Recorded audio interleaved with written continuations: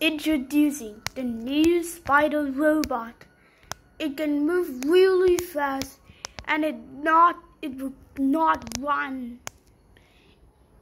It is only it is it can move by itself with super mega wheels. It's only for $392 and 694 cents.